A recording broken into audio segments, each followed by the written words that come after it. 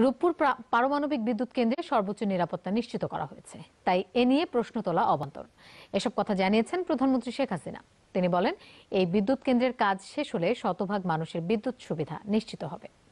দু সাল নাগাদ জাতীয় গ্রিডে যোগ হবে প্রায় চব্বিশশো মেগাওয়াট বিদ্যুৎ। পাবনার রূপপুর থেকে আরও জানাচ্ছেন তাহিদ মিথুন আর ছবি তুলেছেন গৌতম সিনহা।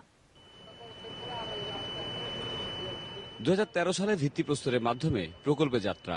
তারপর থেকে অনেক জটিল প্রক্রিয়ার পর শুরু হয়ে গেল বহুল আলোচিত বিদ্যুৎ কেন্দ্র নির্মাণের মূল কাজ। নিজ হাতে কংক্রিট ঢালাইয়ের মাধ্যমে কাজের উদ্বোধন করেন প্রধানমন্ত্রী। উন্মোচন করেন ফলক। এর মধ্য দিয়ে পারমাণবিক বিশ্বের তালিকায় বত্রিশতম দেশ হিসেবে যোগ হল বাংলাদেশের নাম। বাংলাদেশ পরমাণু বিশ্বে প্রবেশ করল। এ উপলক্ষে আয়োজিত সুধী সমাবেশে যোগ দেন প্রধানমন্ত্রী।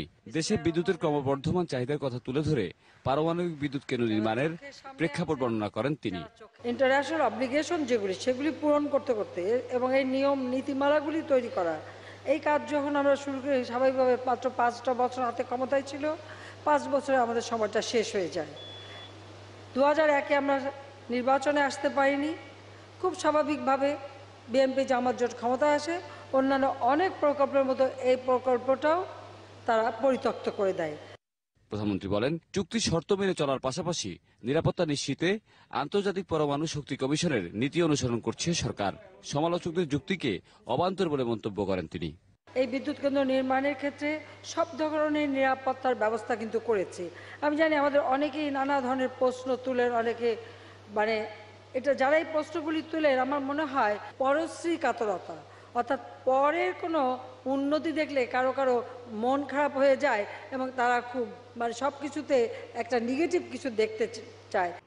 সব ঠিক থাকলে প্রথম কেন্দ্র থেকে দুই সালে বারোশো, পরের বছর দ্বিতীয় কেন্দ্র থেকে আরও বারোশো মেগাওয়াট বিদ্যুৎ জাতীয় গ্রিডে যুক্ত হবে।